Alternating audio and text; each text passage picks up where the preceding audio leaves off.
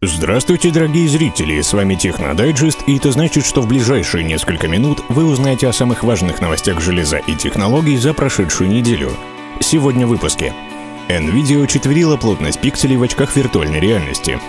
Компания Sony выплатит геймерам 15 миллионов долларов за взлом PlayStation Network. Игру Doom запустили на банкомате и рекламном билборде, и многое другое.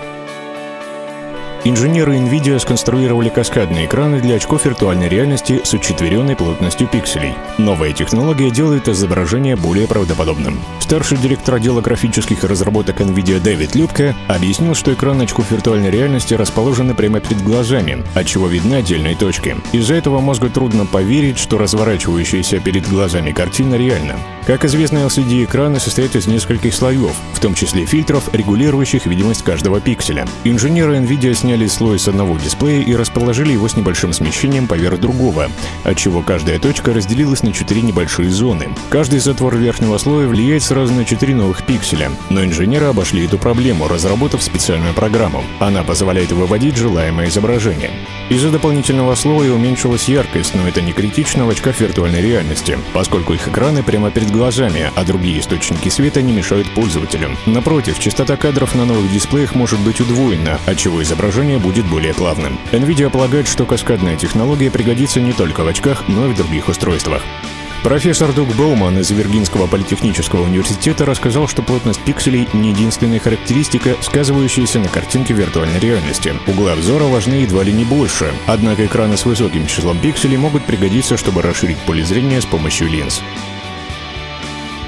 Компания Sony согласилась выплатить 15 миллионов долларов геймерам, пострадавшим от взлома сети PlayStation Network. Как стало известно, корпорации пришлось пойти на такие уступки в ходе судебного разбирательства коллективного иска пользователей. Взлом PlayStation Network произошел в апреле 2011 года. Группа хакеров Anonymous сумела проникнуть в сеть и выкрасть информацию о миллионах пользователей сети. Представители Sony после восстановления работы сети предложили своим пользователям бонусную упаковку, которая включала в себя две бесплатные игры для PlayStation 3 и PlayStation Portable, а также небольшой период бесплатной подписки на сервисе PlayStation Plus. Соглашение еще не было утверждено судьей, но, судя по всему, геймеры получат 15 миллионов долларов в виде цифрового контента сети. В частности, геймеры, которые завели аккаунты в сети PlayStation Network до 2011 года и не воспользовались предложением получить игры бесплатно, смогут выбрать одно из новых предложений. Так, геймеры смогут выбрать одну из 14 игр для PlayStation 3, три темы или трехмесячную подписку на сервисе PS Plus.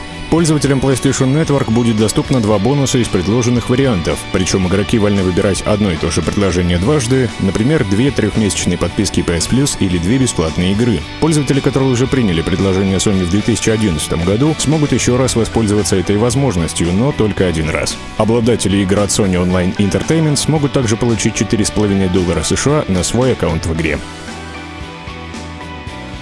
Группа энтузиастов из Австралии смогла запустить шутер Doom на банкомате. Компьютерщики взяли ПК с Windows XP, эту систему обычно устанавливают в банкоматы, и плату iPad 2, чтобы управлять игрой с помощью боковых кнопок терминала. Позже им удалось воспользоваться принтером чеков и кнопками с цифрами. Австралийцы рассказали, что на банкомате можно запустить и более современные игры, но для этого придется заменить часть комплектующих, а это противоречит первоначальной задумке. Вскоре после того, как Doom заработал на банкомате, другие энтузиасты запустили игру на рекламном билборде. На этом все новости в мире железной индустрии окончены, но вы можете поставить лайк и подписаться на канал. До скорых встреч!